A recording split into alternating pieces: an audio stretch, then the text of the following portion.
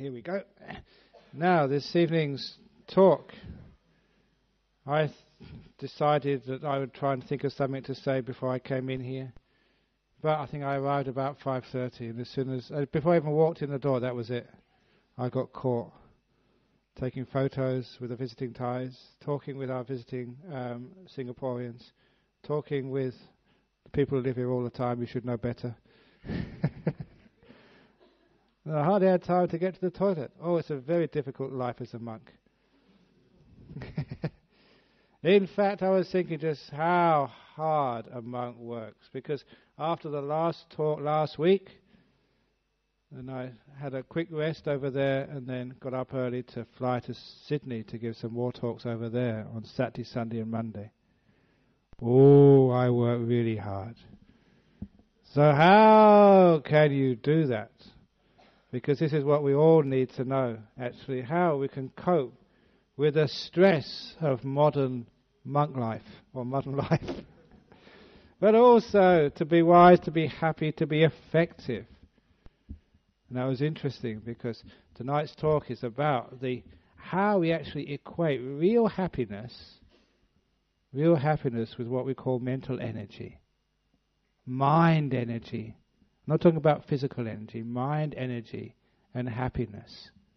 This is a deep teaching of the Buddha because very often those of you who've read some of the original teachings of the Buddha from the sutras would have read again and again the Buddha saying that the only thing he teaches is suffering and the end of suffering. In other words, suffering and happiness. That was the whole thrust of the Dharma taught by the Buddha about the understanding what suffering is, understanding what happiness is. And I'm now going to teach you the secret of real happiness. And also, not just real happiness in the sense of just enjoying yourself, but how real happiness also, it coincides with the energy which can serve others. So you can do your duties in this world. Now I'm mentioning this because, again, in that trip to Sydney, there's actually somebody from Sydney who was at my talks in Sydney here this evening. And they will know the place where I give these talks in Sydney in a little meditation Buddhist center called Bodhikusuma. It's in the suburb of Chippendale, which is just next door to Redfern, in one of the inner suburbs, and it is a rough area. In fact, two doors down from the Buddhist center is a brothel. And of course, being in such close proximity, I made some comparisons. in fact, I made a comparison because many of you have heard me say this before. It was actually the subject of, of the presentation I gave at the Third Global Conference in Singapore. My presentation was Meditation, a bliss better than sex. So, really, I was. Uh, pinching the customers from the brothel next two doors over. I say this is a much better bliss in this meditation center you can get next door. And it's true. More than that, that sometimes, as you would know there, that house of ill repute, the only reason you would know it was there was because they got hearts all over the front. And I thought, actually, the Buddhist temple, we should have bigger hearts. Because we're much more into compassion. That's real love. And have you ever noticed the heart symbol is a Bodhi leaf upside down? Look at a Bodhi leaf. Perhaps this is what we really mean by the heart. The Bodhi, the wisdom, is the real the heart of compassion. Now, what do you actually really mean by that? Just the happiness actually you get, the joy you can get from the practice of Buddhism, because the Buddha was talking about lessening suffering, increasing happiness, you really understand what and how we get this inner happiness, the real happiness. One of the themes which I've been teaching my monks down at Serpentine for the past three months is like an insight which comes from your meditation, which actually uh, is a powerful insight because it informs many of the things which you do in life and gives you an understanding of how to live the life of a layperson or a monk, a husband or a wife, a worker or whatever. And it's the understanding that mental energy is happiness. Mental energy. It's something which my teacher said, Ajahn Chah said many, many times, which again was very hard to understand until you can experience by putting this into practice and experimenting with it. He said, if you're going to have a fit body, you have to exercise. You have to do something with this body. If you just leave this body sitting still, it gets quite sick. The body's health depends upon movement, doing, exercising. But he said the mind's health is completely opposite. You get mental health by being still, as peaceful as you possibly can. That's where you get the mental health, agility, and power. Completely opposite. Sometimes we are taught, or maybe you bought into the fact that the more you think, the smarter you will be, or the happier you will be. But those of you who've thought a lot would have also taken much aspirin or paracetamol. That's what happens when you think too much. And those who think too much, they know very little. We think, but we don't see. Because most of those thoughts are the words which describe the world, but they're not the world themselves. They confuse us into misinterpreting what's really going on. The menu is not the meal. The map is not the destination. The signpost is not the object which is pointing to. Your thoughts are not the real thing. But more than that, the more you think, the more you use up your mental energy. You get weak until eventually you get completely depressed. People who get depressed simply think too much. Now, when you understand that mental energy is happiness, how do you actually develop mental energy? You don't develop mental energy by thinking, by using the mind, by working it, by worrying. That's not the way to actually develop mental energy.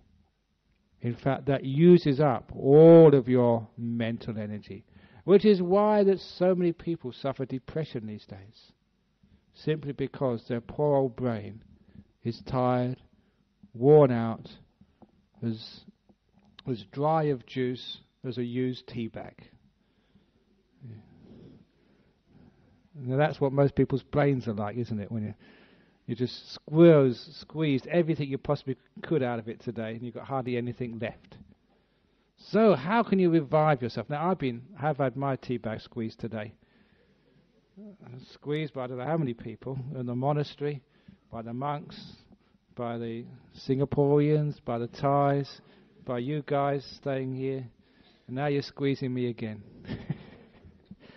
but it does not matter because I know how to regenerate my tea bag, how to how to build up the mental energy inside.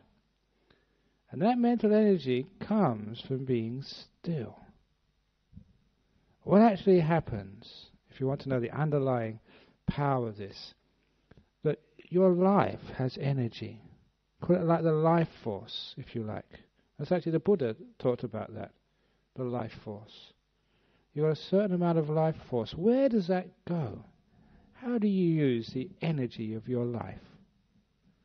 We use too much in thinking, worrying, controlling, planning, making, changing. Because we use it all in that area, we've got not enough left for the mind. It's always in the reacting, doing, controlling.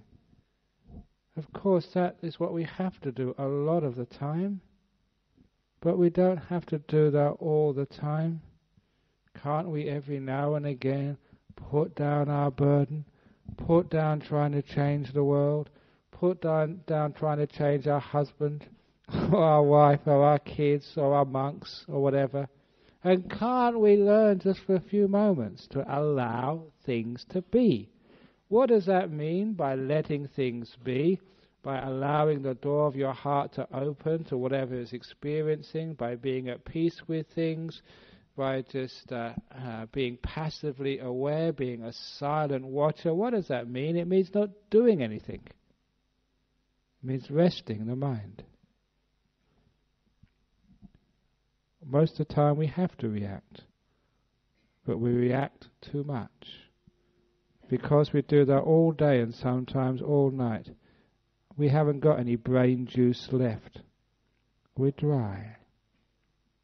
But if you just stop for a few moments, in that stopping, in that putting down the reacting, in that letting go of the levers of your mind which you control yourself and the world, what actually happens then is the energies of your being, they don't go into changing the world.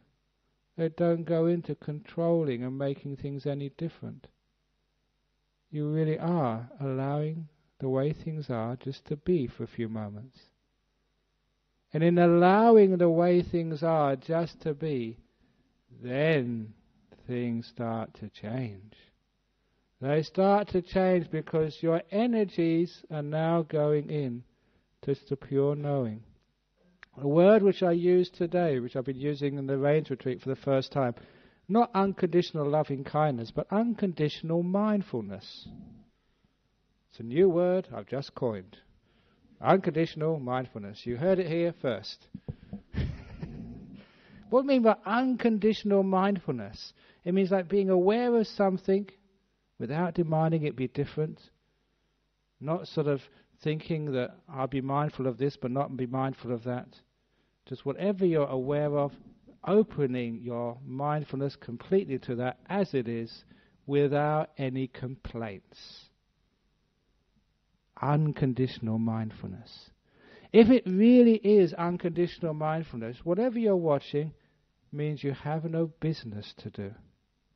You don't have to react to it, you don't have to do anything about it, you don't have to change it, hold on to it, alter it in any which way.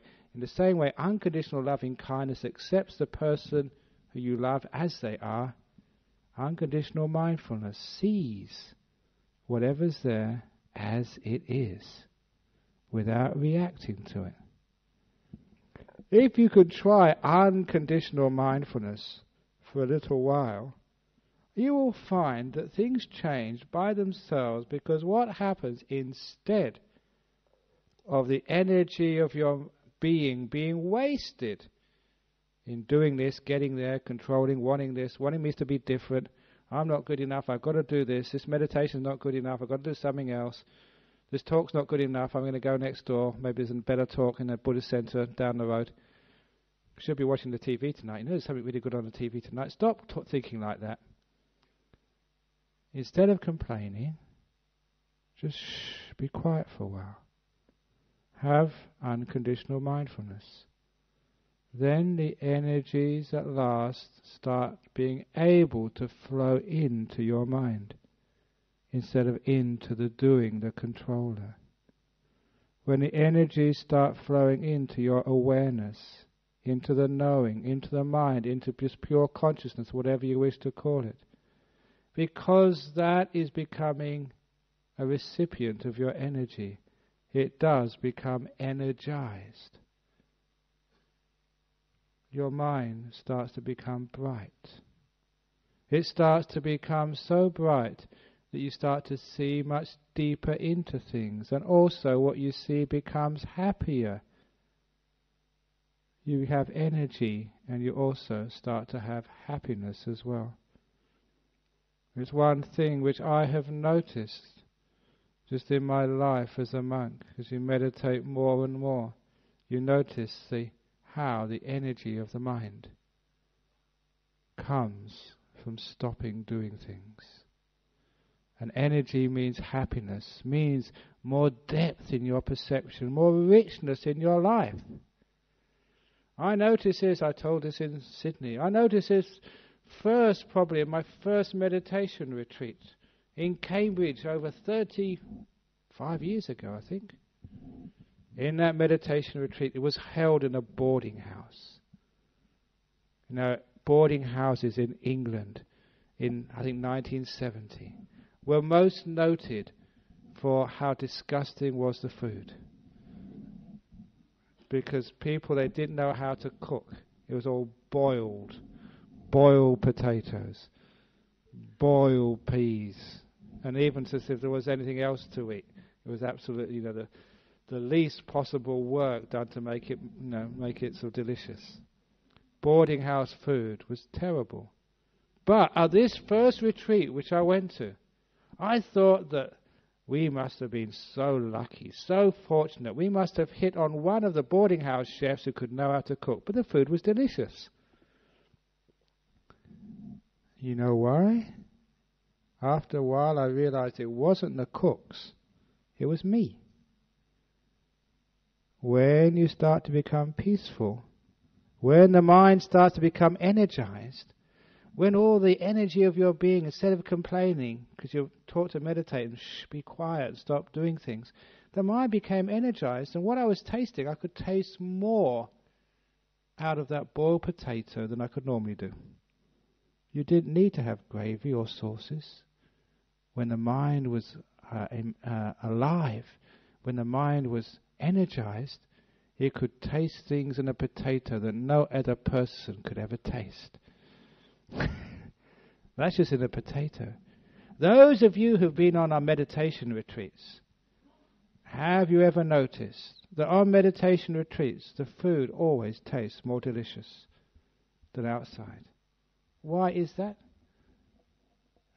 it's not the cooks. The, re- the reason why it f- tastes more delicious is because of you. Your senses on a retreat are opened out. You've got energy. What you taste, what you see, what you hear, because your mind is clear, you can take more in.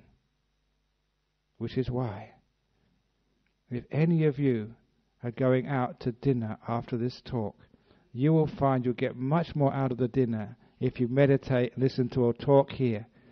So if you ever go into a five star restaurant, please make sure you come to the Buddhist Society first to get your money's worth. and it's true. Because when the mind gets energized, what you taste is more delicious. You try that out. If you've been working really hard and you're tired and you've got no energy in your mind, whatever you eat, it's dull. If people learn how to meditate and actually put energy into their mind so they can really appreciate the food, there'll be far less divorces in this world. when you appreciate your wife's food. Oh, you're such a good cook, wife. Oh, what you say, do is so, so delicious. It's not that the food is not delicious, it's your mind is not open to the taste because it's tired. You can understand what happens when the mind gets very, very tired. It gets into this spiral of depression. Something goes wrong in your life, and you feel sort of uh, a bit down. And people try to think themselves out of that depression, they struggle with depression. Because they struggle with depression, what little energy they have is used up in the struggle, in the fight. And of course, they have less energy, which makes them more dull, more depressed. They get in this spiral of deeper and deeper depression. The more they fight, the deeper they go. Which is why as a monk, when people are depressed, I say, What's wrong with being depressed? Enjoy your depression. Depression, the door of my heart is open to you. Come on, let's see how depressed we can get. now, when you do that, of course, because you're not fighting, you're accepting, you'll find the depression gets less and less. Because you're not wasting the energies which you have in fighting the energies of your being have a chance to flow into just knowing. The knowing brightens up. You see more, you see deeper, and the greyness of life starts to disappear. It's not that the world is depressing, it's just the way one is looking with low energy. That's why the world is depressing. It's not the world. It's not your life. It's not your husband. It's you. This is why, once you get into this idea of learning how to Allow the mind to rest from time to time. Allowing the mind not to, what by resting, I mean not to do things. Stop controlling, stop forcing, stop running. Take your hands off the steering wheel, the feet off the pedals of your life, and just let go. Relax, rest. Don't do anything. Be at peace. If you could do that just a little bit every day, you'll find the energies of your mind start to increase. As they increase, not only do you see deeper, do you hear deeper, you don't miss so much in life, but you find you get happier as well. You get joyful. Those of you who are coming to see my monastery on Sunday, those of you who are going to see Dhammasara on Saturday, why do you go to such places? Why do you come here? A lot of times just to see a happy monk. That's all. It's nice being around happy people. It's terrible being around grumpy, grim sort of people never smile. Even just when I was giving a, the meditation, I asked you to smile after uh, at the end of the talk.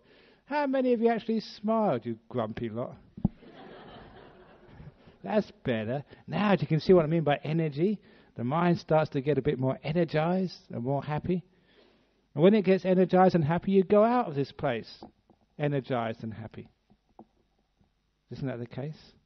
If you really are grumpy, I've been telling people a joke. I heard this in Sydney. Someone told me this in Sydney. This will make you laugh. I really have to try so hard to make people happy. If meditation doesn't work, I'll tell them jokes. There was two Australians. They were lost in the desert. They'd been crawling around there for days. They were so hungry, so thirsty. They were close to death and almost deranged by the heat of the sun. When one of them looked ahead and saw a sausage tree. He said, Look, said, Look at that sausage tree. And the other guy said, What? You're mad. There's no such thing as a sausage tree. Yes, there is. It's there in front of me. And he walked toward, he, not walked, he crawled towards the sausage tree. When he got within five meters of the sausage tree, he could see there was a saveloy hanging down off that branch. There was a pork sausage off of that branch. as soon as he got within five meters, there was a hail of bullets. He got almost shot to pieces. As he crawled away to tell his friend, he said, I was wrong. It wasn't a sausage tree. It was a ham bush. A ham bush.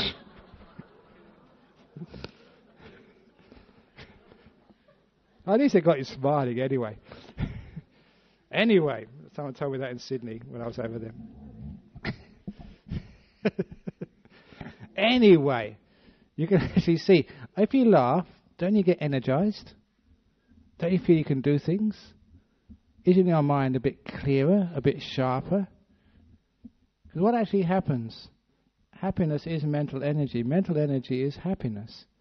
And one of our problems in life, because we do so much, we're working so hard, so much is demanded of us just to survive, that many of us lose our energies. And we get depressed. Sometimes not into the depression where you have clinical depression. We get so depressed we cannot appreciate life.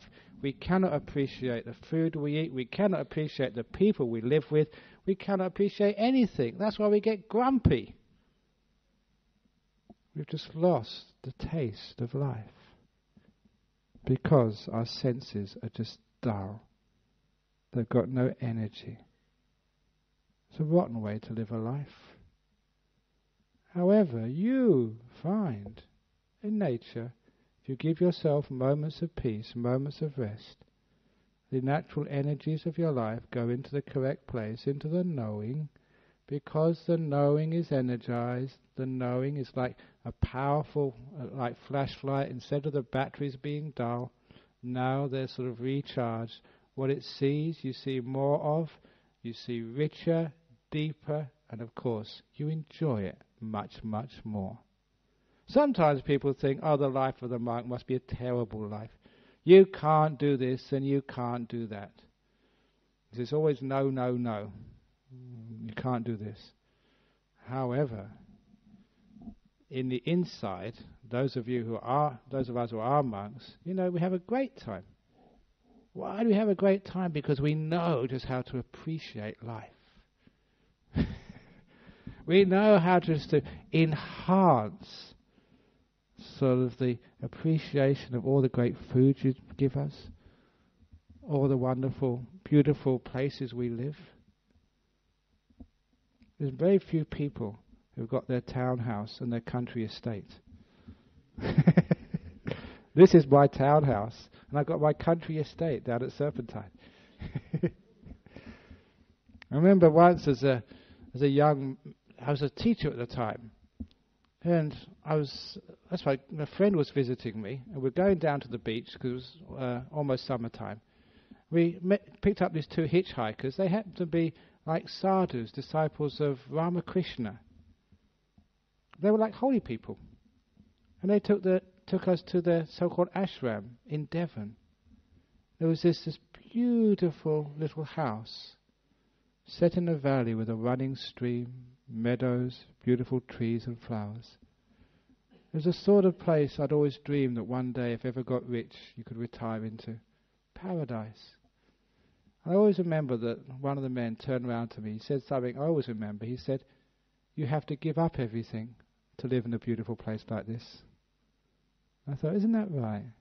The more you give up, the more beautiful place you live in. I mean, in the world, we think we have to work really hard to get a mansion. But if you work really hard, you can't appreciate your mansion. You're just too tired, too stressed out, too lonely to really appreciate it. But if you learn how to let go, even your small little hut in the forest becomes your mansion. Because your senses have been empowered, you can appreciate much more. You see more deeply into things. You can even see more deeply into the people you live with. Strange, isn't it, why some people are rejected by you?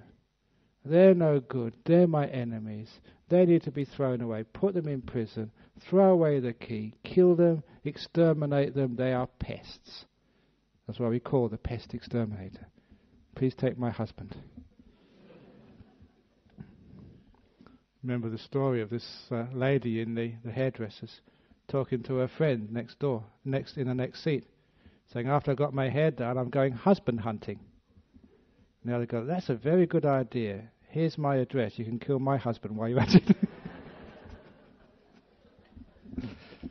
two meanings of husband hunting.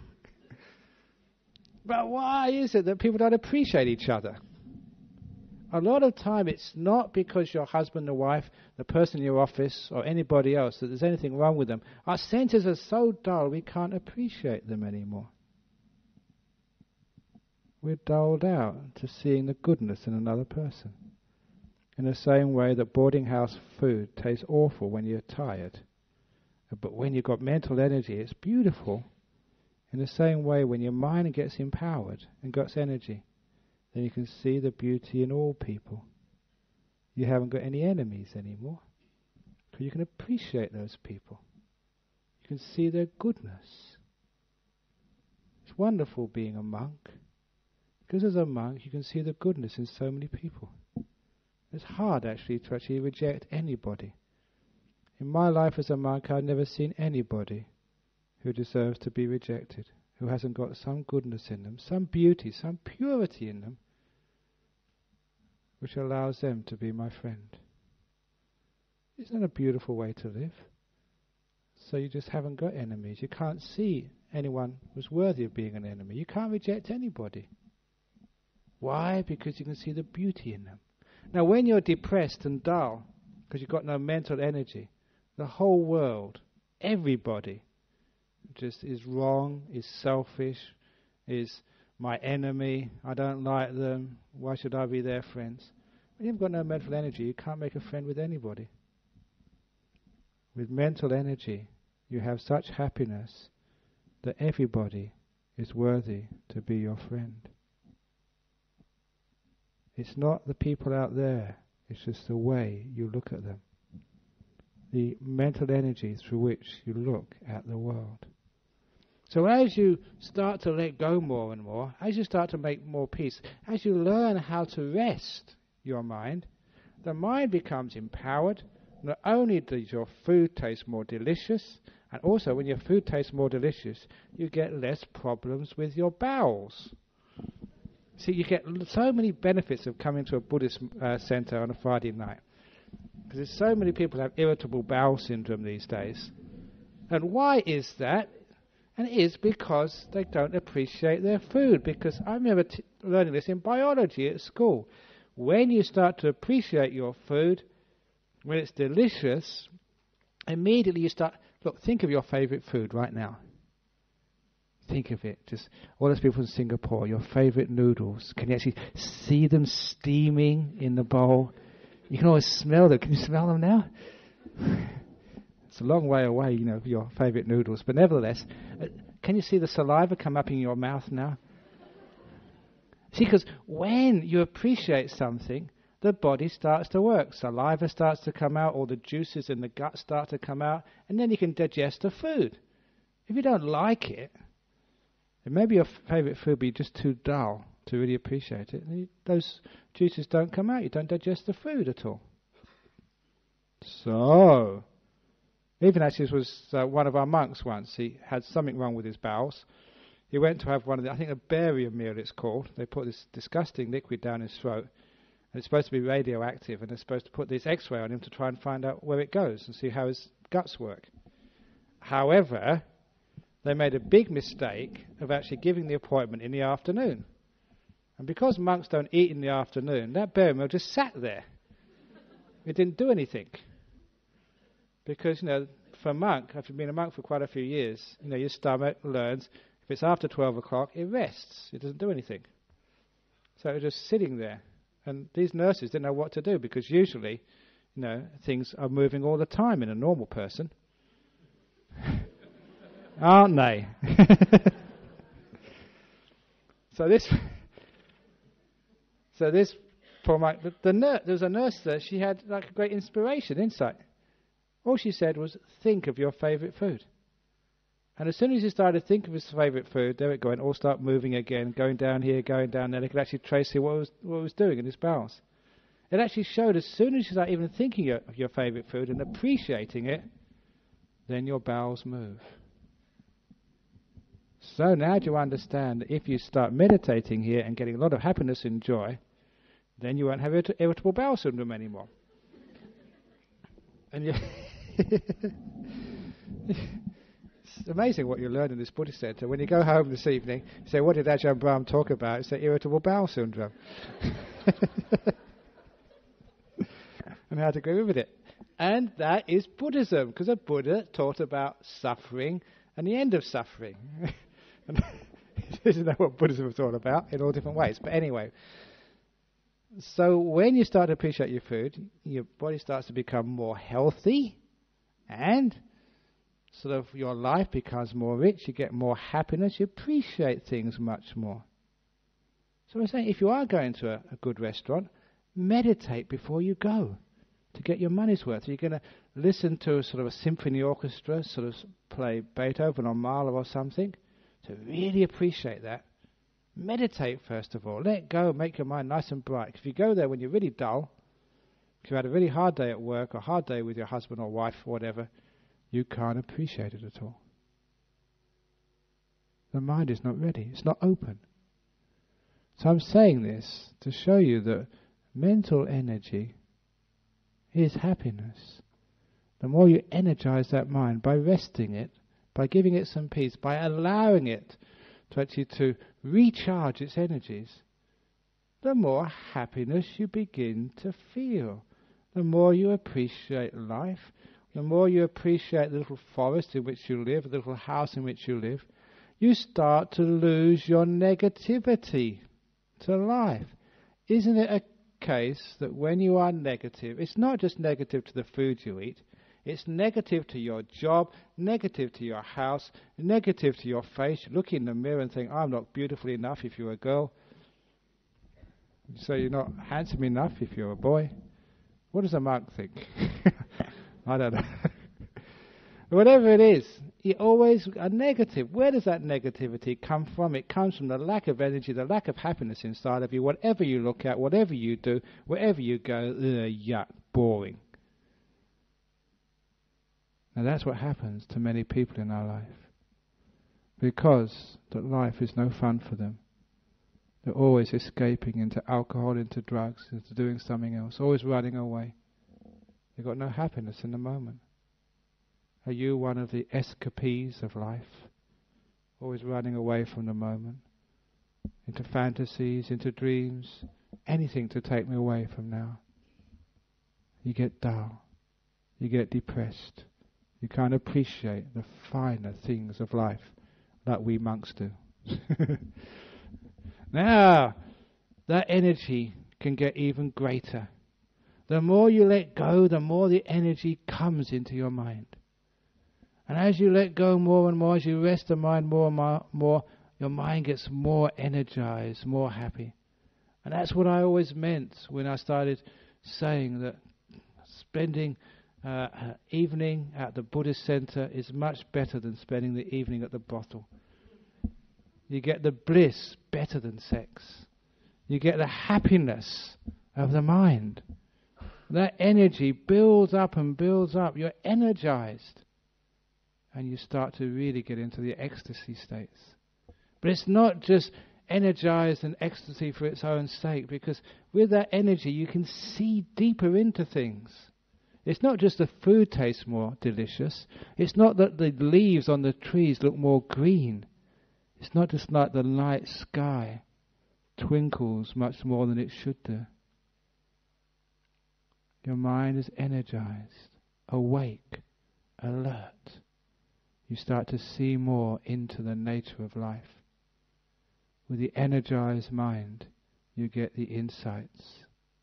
Some of those insights are so strong they'll make you even enlightened.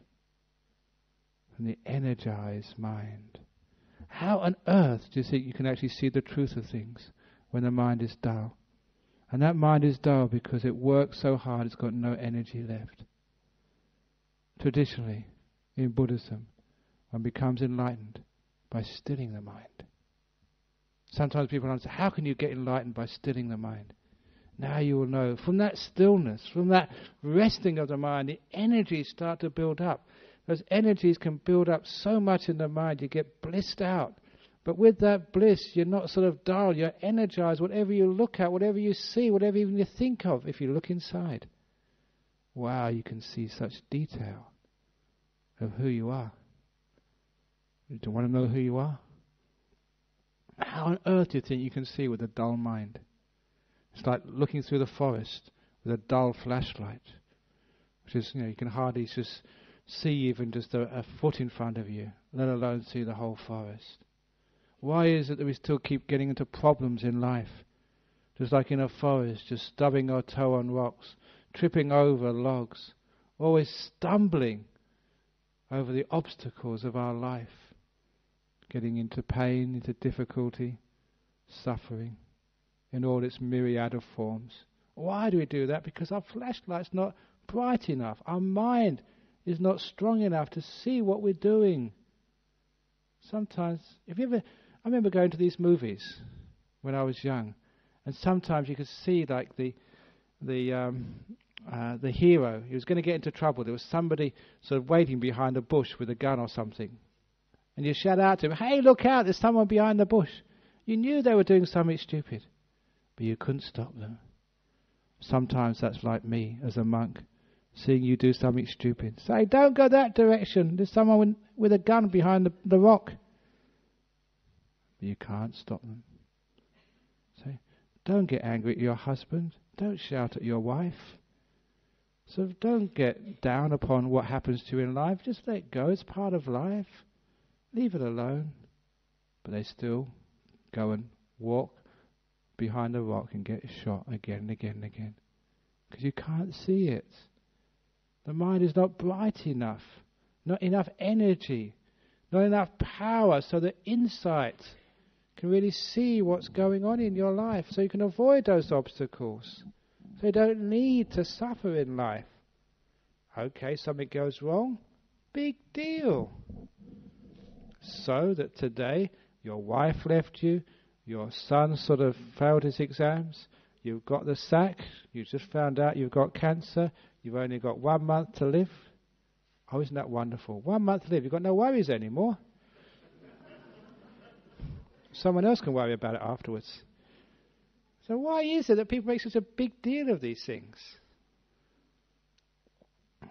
So, when we have insight, we have the brightness of the mind, just we have so much insight into the nature of life, the things don't worry us anymore. We actually can see beyond the suffering of life. And all those insights which you hear from uh, people sitting here, those nuggets of wisdom which you read about in the books, all of the teachings of the wise people of the past, now they are yours. You see those because your mind is energized, the energy has gone into the knowing, mindfulness is empowered, so you can actually see clearly into what needs to be done. Not only that, but for those of you who are in business, who are working, if you want to be rich, if you want to be rich beyond your wildest dreams, then give your mind energy. So you can actually see exactly what's going on so you can be smarter than the average CEO or the average salesperson or the average whatever you are. That's what happens. I must have had a natural mindfulness from the past because I was alert. People tell me, those who went to school with me said I was a happy boy even at school. It wasn't just happy, I was alert as well. Even when I was listening to the classes which my teachers taught, I had an incredible memory. They could actually say something, and when it came time for the examinations, not only did I remember the answer, I could recall when the teacher said that. And that's actually one of the reasons why I always sort of went did very well through school and through university. I had a very strong memory. Why? Because I was happy.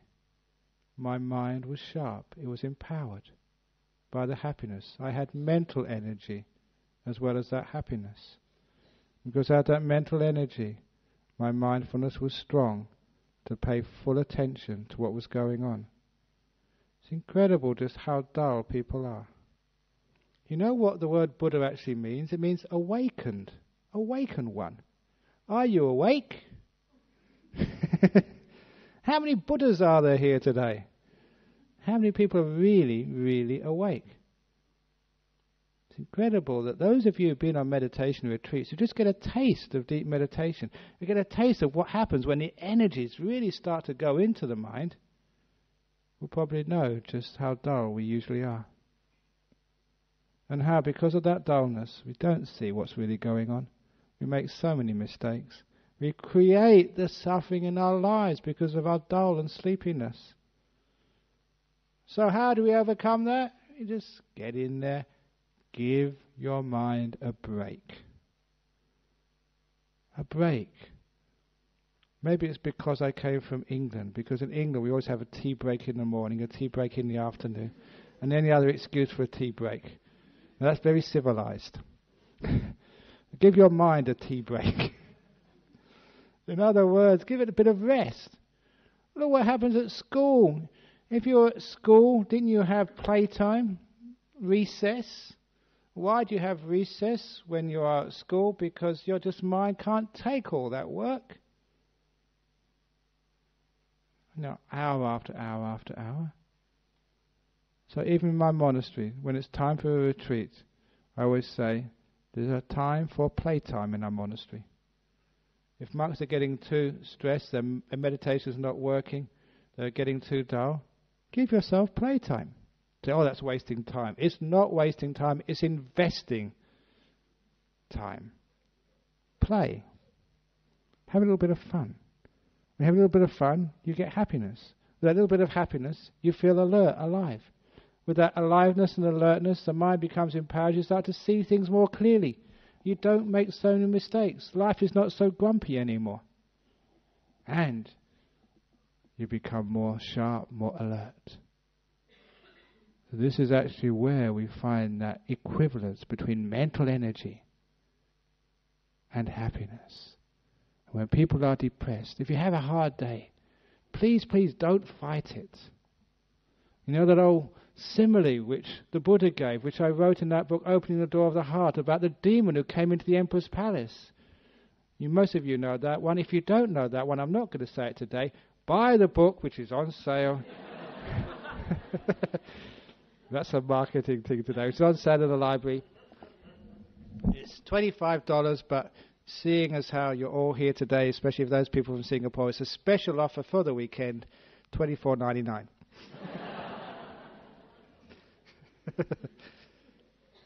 and you get it signed as well. but when we empower the mind with happiness, then you are awake. You feel alert. Look, I should have been wiped out, sort of giving this talk just now. I've had such a busy, busy, busy day.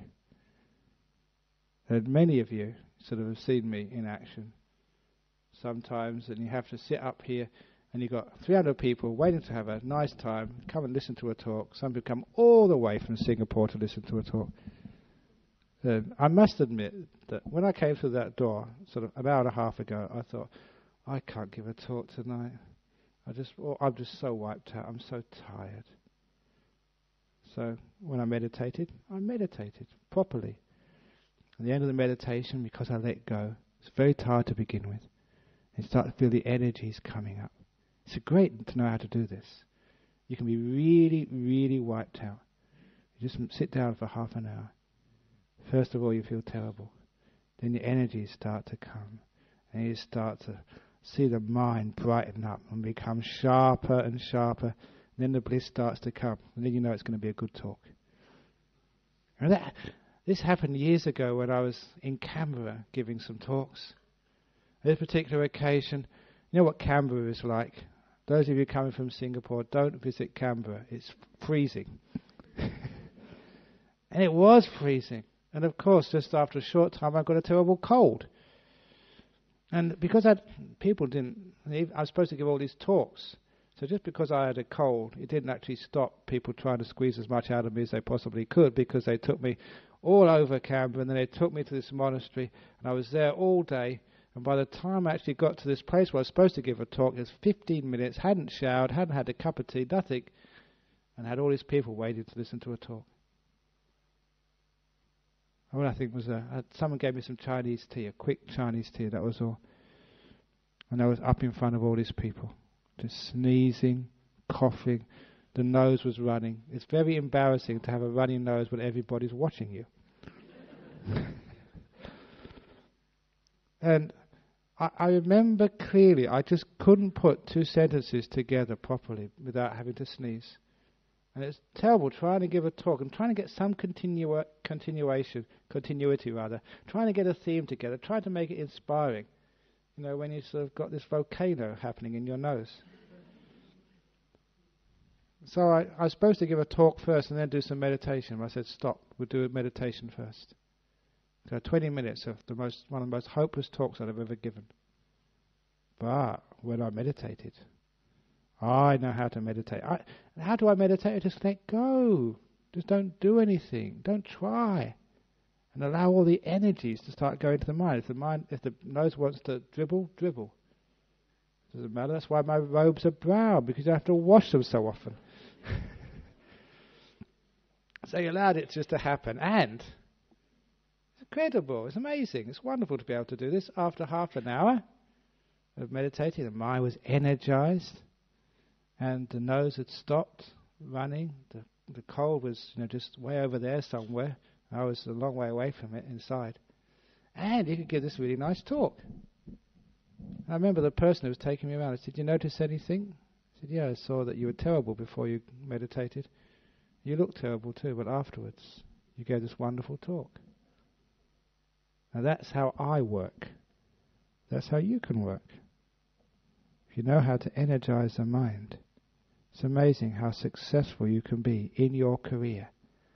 Whether it's a monk career, whether it's uh, sales, whether it's just being a, a, a family person, a father, whatever you do in your life, energize the mind through learning how to be still. Not only that, you can be a very successful in your spiritual life as well. You know the secret of inner happiness. You know the secret of, of wisdom, seeing clearly and deeply into the nature of things, and also appreciating things as well. This is a panacea, this snake oil which gives you everything you ever wanted in your whole life. Both success in life, both this appreciation of the richness of life, the deep insights into the nature of things, and enlightenment itself. According to the teachings of the Buddha, this, he said, is a path without groaning. If you're, this is actually one of the sayings of the Buddha. This path, this eightfold path, is a path without groaning. If you're groaning, you're not practicing properly. You're not, you've forgotten the words of the Buddha, the path of the Buddha. This is the path not of complaining, of groaning, but a path of greater acceptance, greater happiness. Not, but wow. Not, I have to get up in the morning, but wow, another day. Zippity doo dah, another day. All of you people from Singapore, you've paid so much money to come over here to Perth. Wow, what a wonderful day. When you wake up tomorrow morning, don't look at the clock, get out of bed, jump out, get your money's worth of this trip. Then you start putting energy into the mind, energy into life. Your breakfast, I will guarantee, will taste even more delicious than you did expect. And when you go to see the sights, oh, they'll be just so much more enjoyable. And when you go and have your dinner, don't forget to meditate for half an hour beforehand. Mmm, that's delicious. You really know how to appreciate life. And you get so empowered, so full of energy. Whatever you do in life, you'll be able to succeed in. And you'll be someone who's attracted because who likes grumpy people? Do you like grumpy people? Are you married to a sourpuss? if you are, no need to divorce them. Take them to the next meditation retreat. And I will turn your sourpuss in nine days into this happy, wonderful, energized, loving person. it's like on the TV advertising, isn't it? but it happens. This is true. Because mental energy is happiness. And mental energy comes from being still. If you learn to be still from time to time, you will never get depressed, fed up, or grumpy ever again. You'll be a person who doesn't get angry. Anger comes from depression, fed up with somebody or with the world. You'll overcome those things. And you'll be able to appreciate life more and more. The path of enlightenment is a path of ever increasing happiness, ever increasing appreciation of the world and its people, ever increasing friendliness, compassion, freedom. That's the path of enlightenment. So the more happy you are, the inner happiness, I don't mean the outer happiness, the more you're treading on the path of the Buddha, the path without groaning, the path of ending suffering and arising happiness until one day you get the ultimate happiness, the paramam sukham, which the Buddha said was enlightenment. Make your mind still, and it gets happier and happier, richer and richer, deeper and deeper, till it gets the happiness of the supreme enlightenment. May that be yours. Thank you.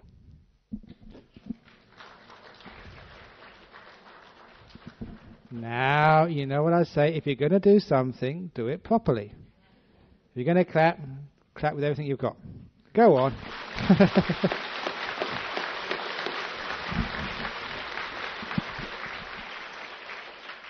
if you're going to shout boo, shout, shout everything you've got. Boo! okay, so that's the talk this evening. Now, are there any questions, comments, or complaints? Um, mental energy equals happiness. How to overcome depression, how to enjoy your meal, and how to overcome irritable bowel syndrome. Any questions? Yeah, we go. One question in the front. Yeah. You you made the mention about the uh irritable bowel. Yeah. An irritable, irritable bowel, just in brief, comes from constipated mind. Yeah, well, it's true. It also comes from irritable mind as well. If you have an irritable mind, easily irritated. Why? This is one of the sayings in that little book. And actually, I think I mentioned to you that our premier here, uh, Geoff Gallop, wrote back to me and said that's one thing he really appreciated when I told him that. I think in the book it said, "Why allow other people to control your happiness?" And he wrote back and said, That's very good. Now I will never allow the media to control my happiness. No matter what they say about me, I'm going to be happy no matter. So that's true. I mean, why allow life to control your happiness? Why be irritated? What's the point of being irritated? You have got a choice.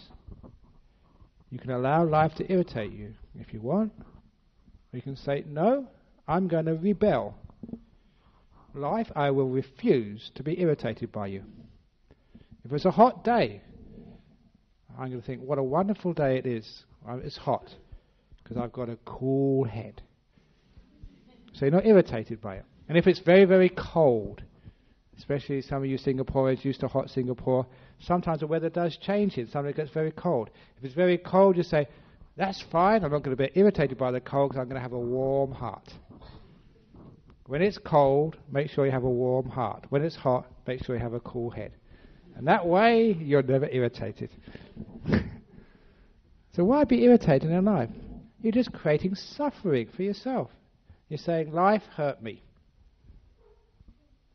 The dog barks. You think, that stupid dog. Why did he bark just then? When I'm meditating. And I say, Oh, dog, thank you for teaching me the Dhamma. I can't control that dog out there. There you go, thank you. now, that's what you should do when your husband barks at you. or when your kids start to sort of get, sort of, you know, really not naughty. They're kids. What do you expect? Look, you had those kids. So why are you complaining? You should have become a monk or a nun if you didn't want kids. but why allow life to irritate you? You don't have to. So when you've got an irritable mind, you have an irritable bowel, and you have a very irritating mouth, when you start, start to say rotten things about others. So never allow the world to control your happiness. Be like a Buddha. Doesn't matter what people say about him. Doesn't matter if he's sick, healthy. Doesn't matter what happens in the world. He'll be happy no matter what. Why not? Makes sense to me. Yeah. Um, that's very nice. That's right, UM, unconditional mindfulness. That's very good. That's the acronym for unconditional mindfulness. Um. very smart. Very good. You see, you're happy. Because of happiness, your mind has been energized. Because of that energized, you've had this wonderful insight that unconditional mindfulness equals um. See, it works. See, you woke up.